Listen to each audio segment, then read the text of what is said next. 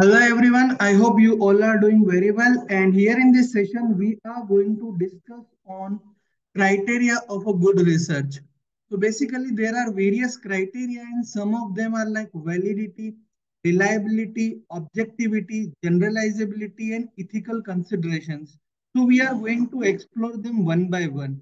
After that we are also going to describe some more important criteria that you may learn as a part of this criteria of a good research, right? So let's validity. So if we talk about validity, that validity we talk about how relevant your research work is.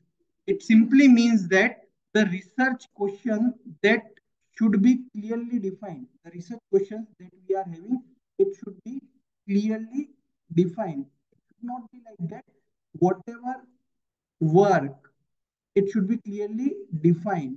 And the research results at the end, the research findings at the end, it should be matched. It should be matched with your questions that you have framed. Right? That's the reliability. It is important criteria of a good research. Then we can talk about reliability.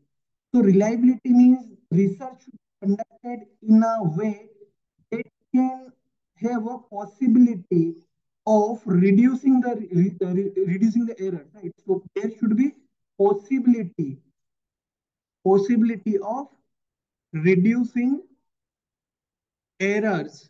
Or you can say that minimize the possibility of error. The result of the research should be consistent.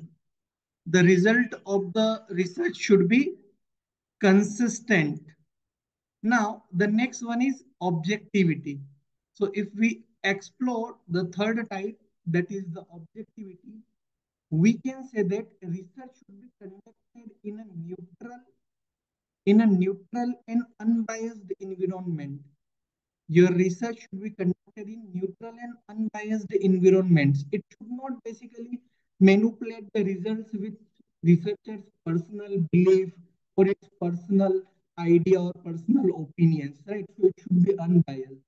And whenever we talk about generalizability, it means that the findings should be universal.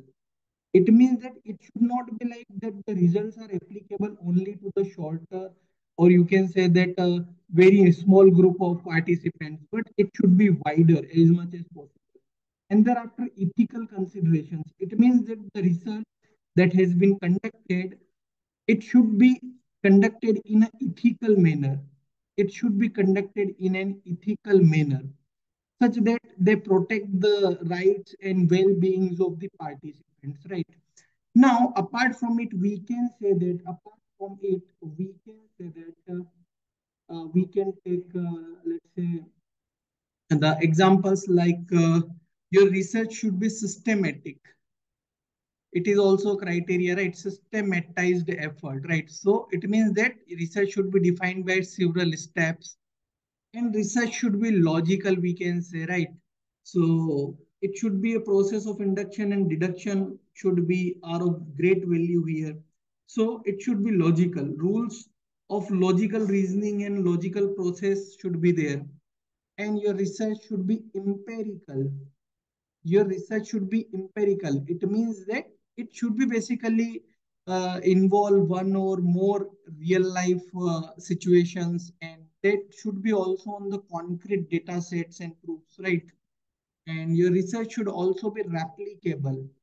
It is also a good criteria, replicability. It means that your research can be used further in future by other researchers and it should help them on making the basis stronger. So they are some of the criteria of good research. I hope the basic concepts are clear to all of you, right? So if you are having any doubt, queries, or any kind of uh, uh, confusions, right, please feel free to comment. Have a very nice day. Jai Hind, Jai Bharat, and don't forget to subscribe us for more such important. Have a nice day, guys.